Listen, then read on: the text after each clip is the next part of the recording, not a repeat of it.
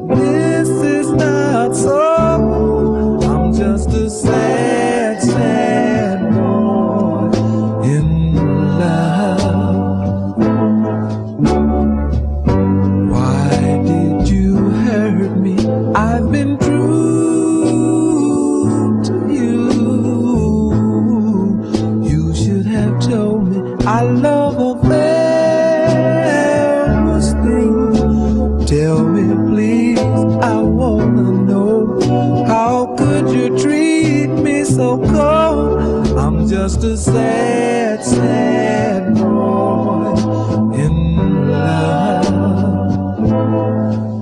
Yes, it hurts.